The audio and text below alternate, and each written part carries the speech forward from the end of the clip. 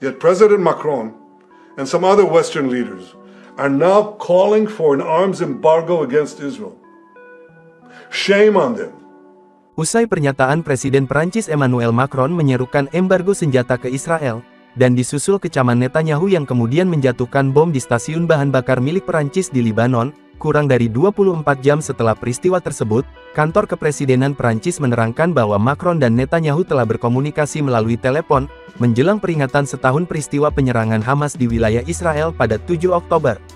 Mereka menjelaskan bahwa kedua pemimpin menerima perbedaan pendapat mereka, serta keinginan mereka untuk dipahami satu sama lain saat berbincang melalui telepon.